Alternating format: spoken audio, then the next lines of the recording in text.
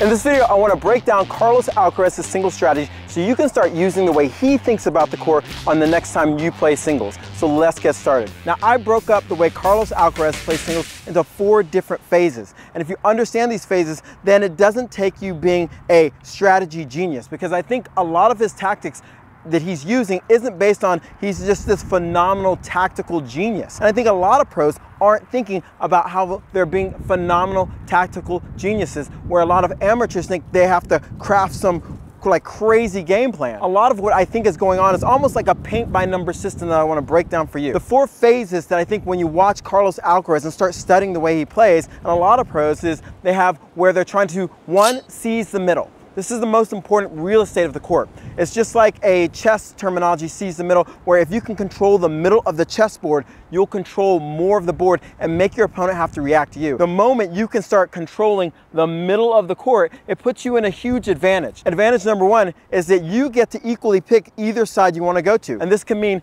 if the ball lands in the middle, like you see Carlos doing, is running his opponent side to side without having to take a ton of risk. Number two is you can also choose whether you want to just focus on your opponent's weakness if they do have a weakness. Now, this isn't always the case. Like when he's playing Daniil Medvedev, Daniil doesn't really have a huge weakness from the baseline. He's a brick wall.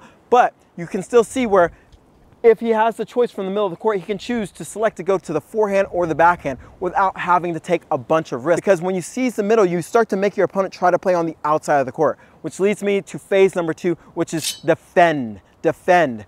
The, what we see is a lot of cross-court rallies. And what's happening is they're moving over here trying to defend the middle, meaning keeping their opponent out of the middle and their opponent's trying to keep them out of the middle. Now, a couple things happen when we think about defense. When we think about defending the middle and keeping the ball cross court, now we just up the risk if your opponent wants to go down the line. And I'll talk about that in a second, meaning that they have more court cross court, which means this is a safer shot hence you seeing more cross courts. And they have to really be selective because if they mess up with the timing and try to go down the line, they can miss it wide. Now, another great benefit of hitting really strong cross courts, and you see this a lot, is that you get a missed time ball that lands in the middle. And this is one of the biggest things I think you should start focusing on, and I start focusing on, is to focus on execution over strategic genius meaning that I'm trying to execute shots that land in a certain area over trying to trick my opponent. And it cuts down on one of the biggest areas where we make most of our mistakes, indecision.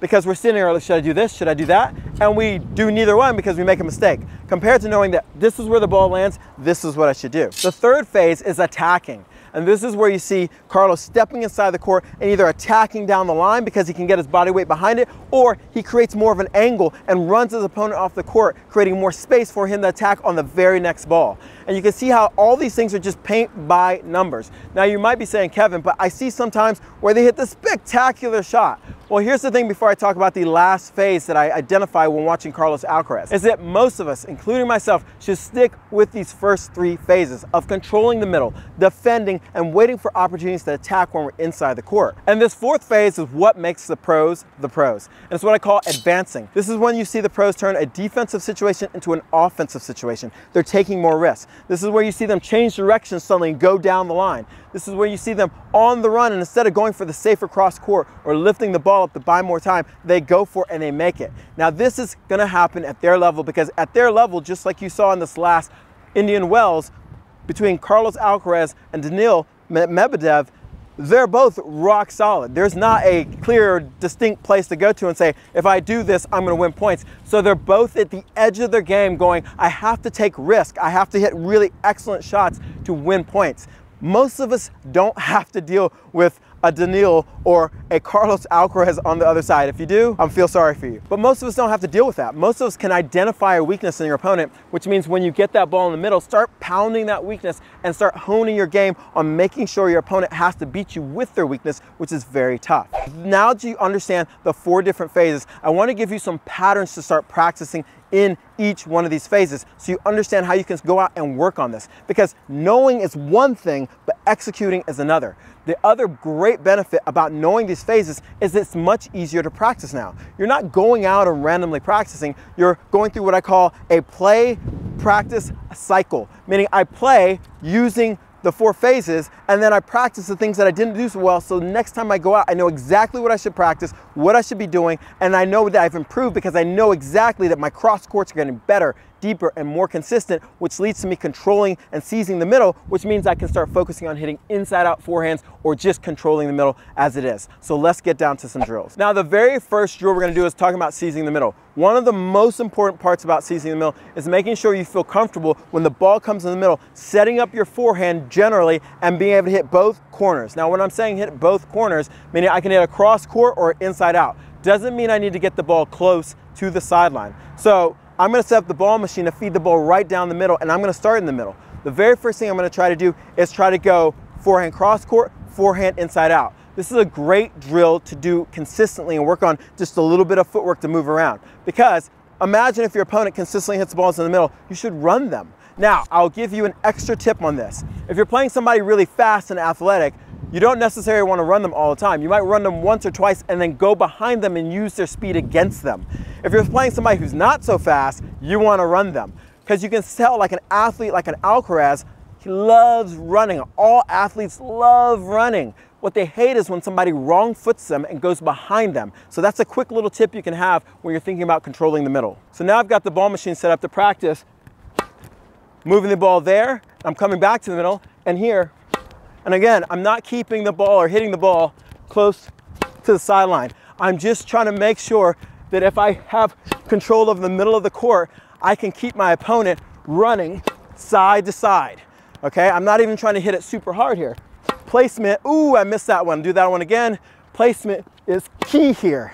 Now, what you can also do is practice going here, and after I, I go one more here, what I would do is now mix it up and take this next one back behind my opponent. What that's gonna do is set you up for two different patterns, running your opponent side to side and tiring them out, or running them side to side, then going behind them and taking advantage of you can wrong foot them. The second pattern we're gonna focus on is just across court, which means we're defending. Now, two things we wanna focus on when defending. I focus mainly on going cross court, but there's another defensive shot you can hit that you see the pros use a lot of times. The first one is cross court deep, but the second one is middle deep. Sometimes when your opponent hits a great shot this deep and you don't have the time to place the ball exactly where you want, you see the pros try to hit the ball very deep and down the middle, pushing their opponent back and not giving them access to the entire court. The more you push back, the more the court closes off and you don't have the angles. So in this situation, I want you to practice first cross court. Now, when we're thinking cross court, all we're thinking is getting the ball cross court and hopefully deep. Now, when we're thinking cross court, we don't want to think super, let's say, close to the line like that, because the more we get it close to the line, the more what happens is our opponent gets the possibility of hitting more of an angle. So if we can hit a nice heavy ball deep, even like that, which is not super close, that's what I want to do. And the more you can practice shots like this, where you're just saying, can I hit four to five balls cross court without missing. Craig O'Shannessy has a stat, which I absolutely love, which he breaks down kind of points into three different categories, zero through four, five through nine, and nine plus. 67% of the points are played zero through four. So you don't need to go out here and hit 30 million balls. You need to be solid with four balls. And those Zero through four actually include the serve and return. So still, you don't need to be super consistent. You need to be super solid. Now, in the same position, I set the ball machine to feed the ball a little bit deeper. And this is where I'll hit the ball deep down the middle. I probably will hit the ball machine a couple times trying to do this. And this is just a great safe play that if you're in trouble, instead of trying to force a shot to go a different direction, go ahead and hit it deep down the middle to push your opponent back. So if I have the ball machine hit it a little deeper, I'm boom, right on the ball machine. And all I'm focusing on is getting the ball deep. I'm a little off there. But by getting the ball, that's a great one. Ooh, but that's one where I'm in trouble. The wind took it. Ugh. And that's a great play because with this ball going deep down the middle, I'm hopefully pushing my opponent back, not giving them room or angles to hit, but also I'm making sure since they don't have the angle, I don't have to run that much on the next ball. If you understand each phase, again, paint by numbers, it keeps you out of trouble. And the final phase is attack. Attack is where if the ball lands slightly short in the court, this is where we have two opportunities to create more of an angle and open the court up or attack down the line and close to the net. Now, Alcaraz does a great job of attacking and moving forward. He's not afraid of the net. Now, one other attack that Alcaraz does that I'll mention is a drop shot. You see this all the time. You're like, Kevin, how's that attack?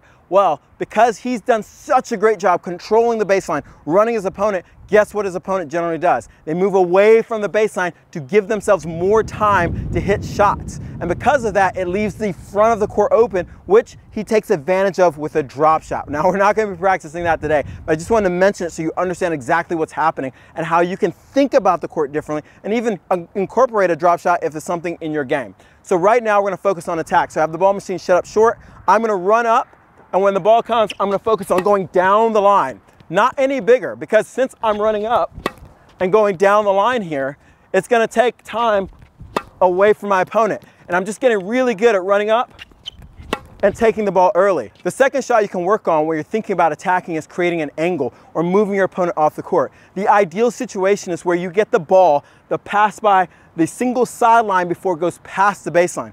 You don't need a crazy angle, you're just trying to open up the court. Because if I can create an angle here and get them off the court, your opponent's kind of in a tough situation. If they go down the line, you can run them to the other side of the court, which is a huge play that you see Alcaraz do a lot of times. He takes advantage of the opponent going down the line and not hitting a great shot. He comes over, executes the backhand cross court. But if your opponent goes middle, you still have some room to maybe go cross court or go back behind them. Another thing is you can still attack down the line. You can see how the, this angle has now uh, exposed your opponent to a lot of different shots that they have to defend. And if they're not good at playing defense, this is a great opportunity to take advantage of them. So I set the ball machine up. So now when it fires out a ball, I can focus on creating an angle and bingo. That passes pretty much where I wanted to go. That's pretty extreme. You don't need to create something like that. But if you can, oh, and this is why we want to practice it, to make those adjustments. Oh, there we go. And so if we can get a ball around there with passing the single sideline ah, before it passes the baseline, then it puts you yourself in a position to control the point. And this is really, if you can just go through these first three phases, it's gonna be a huge benefit to you. I wanna hear about the strategies that you see Alcaraz using, and if you use these type of strategies on the court too. If you have a different type of strategy, leave it in the comments because I wanna do more videos on strategy like so many of you have asked for. So I hope to see you in another video, but if you wanna know more about strategy, make sure you check out this video, which talks about the four phases, which is crucial to understanding how to start beating more opponents in singles.